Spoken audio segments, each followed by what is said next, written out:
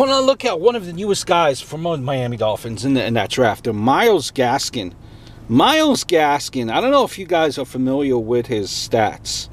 Let me just run. Let me run the stats uh, by you here. Beast at Washington had four straight 1,000 yard seasons.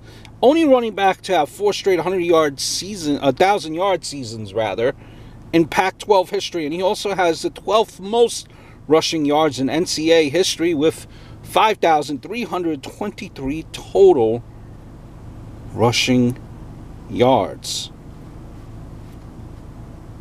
To me, that's wow, right?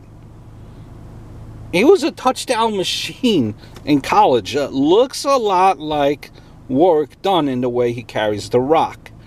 Really uh, exceptional hands, too. Kid could run. I think he was, you know, often overlooked, but he's quick, strong, hard to bring down. Uh, I gotta say, congratulations for Miami for, for picking up this guy. Hope all is well. Look forward to speaking to you guys very, very soon.